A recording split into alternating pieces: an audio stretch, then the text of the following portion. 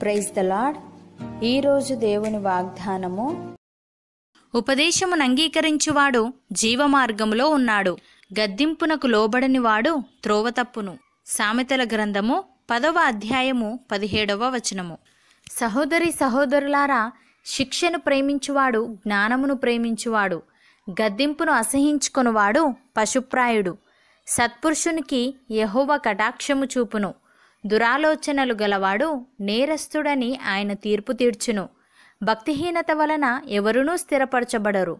నీతిమంతుల వేరు కదలదు అని వ్రాయబడి ఉంది. దేవుడు ఈ విధంగా అంటున్నాడు నా కుమారుడా నా ఉపదేశమును మరువకుము. నా ఆజ్ఞలను హృదయపూర్వకముగా గైకొనుము. అవి దీర్ఘాయువును సుఖజీవముతో గడుచు సంవత్సరములను శాంతిని నీకు కలుగజేయును. దయను సత్యమును ఎన్నడూనూ నిన్ను విడిచిపోనీయకుము వాటిని కంఠభూషణముగా ధరించుకొనుము. నీ హృదయమను పలక మీద వాటిని వ్రాసుకొనుము. అప్పుడు దేవుని దృష్టి అందును మానవుల దృష్టి అందును నీవు దయనుంది మంచివాడవని అనిపించుకుందువు అని. ప్రియులారా జ్ఞానము సంపాదించుకొనుడి బుద్ధి సంపాదించుకొనుడి. దేవుని నోటి మాటలను మరవకుడి. వాటి నుండి తొలగిపోకుడి. జ్ఞానమును విడువకయుండిన ఎడల అది మిమ్మును కాపాడును. దాన్ని ప్రేమించిన ఎడల అది మిమ్మును రక్షించును. ఏసయ్య ఈ విధంగా అంటున్నాడు. నా మాటలు విని వాటి చొప్పున చేయు ప్రతివాడును. బండ మీద తన ఇల్లు కట్టుకొనిన బుద్ధిమంతుణ్ణి పోలియుండును. వాన కురిసెను వరదలు వచ్చెను. గాలి విసిరి ఆ ఇంటి మీద కొట్టెను గాని దాని పునాది బండ మీద వేయబడెను గనుక అది పడలేదు. మరియు ఈ నా మాటలు విని వాటి చొప్పున చేయని ప్రతివాడు ఇసుక మీద తన ఇల్లు కట్టుకొనిన బుద్ధిహీనుని పోలియుండును వాన కురిసెను వరదలు వచ్చెను. గాలి విసిరి ఆ ఇంటి మీద కొట్టెను. అప్పుడది కూలబడెను. దాని పాటు గొప్పదని చెప్పెను. సహోదరి సహోదరులారా మనము వినిన సంగతులను విడిచిపెట్టి కొట్టుకొని పోకుండునట్లు వాటి యందు మరి విశేష జాగ్రత్త కలిగి ఉండవలెను. ఎందుకనగా దేవదూతల ద్వారా పలకబడిన వాక్యము స్థిరపరచబడినందున ప్రతి అతిక్రమమును అవిధేయతయు న్యాయమైన ప్రతిఫలము పొంది ఉండగా ఇంత గొప్ప రక్షణను మనము నిర్లక్ష్యము చేసిన ఎడల ఎలాగు తప్పించుకుందుము?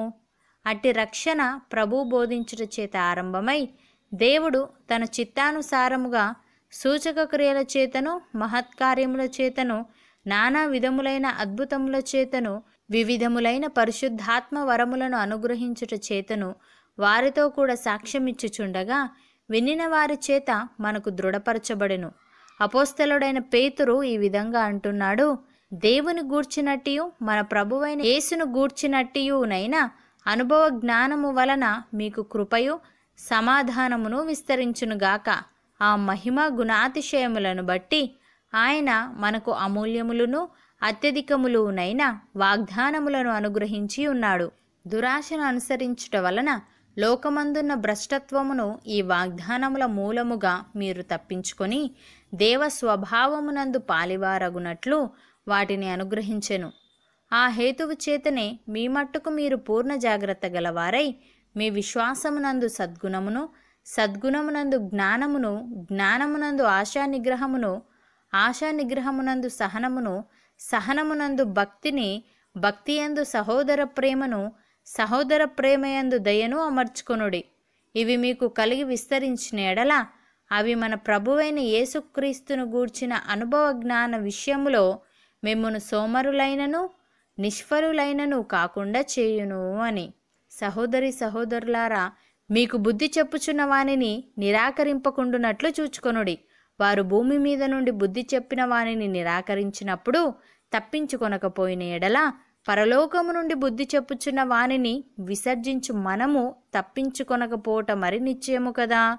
అప్పుడు ఆయన శబ్దము భూమిని చలింపజేసెను గాని ఇప్పుడు నేను ఇంకొకసారి భూమిని మాత్రమే కాక ఆకాశమును కూడా కంపింపచేతును అని మాట ఇచ్చి ఉన్నాడు ఇంకొకసారి అను మాట చెలింప చేయబడనివి నిలకడగా ఉండు నిమిత్తము అవి సృష్టింపబడినవన్నట్టు చలింప చేయబడినవి బొత్తిగా తీసివేయబడునని అర్థమిచ్చుచున్నది.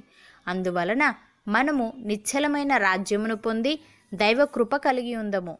ఆ కృప కలిగి వినయ భయభక్తులతో దేవునికి ప్రీతికరమైన సేవ చేయుదము. ఏలయనగా మన దేవుడు దహించు అగ్ని అయి ఉన్నాడు. అవును అన్నవారు నాతో పాటు ప్రార్థనలో ఏకీభవించండి. పరిశుద్ధుడా ప్రేమగల తండ్రి నీవు మాకిచ్చిన వాక్యాన్ని బట్టి నీకు స్తోత్రములు. తండ్రి మేము నీ యందు భయభక్తులు కలిగి నీ ఉపదేశానుసారముగా జీవించే వారముగా ఉండుటకు సహాయము దయచేయమని మేము వినిన సంగతులను విడిచిపెట్టి కొట్టుకొని పోకుండునట్లు వాటి యందు మరి విశేష జాగ్రత్త కలిగి ఉండుటకు కృప చూపమని యేసుక్రీస్తు నామంలో ప్రార్థిస్తున్నాము తండ్రి. ఆమెన్.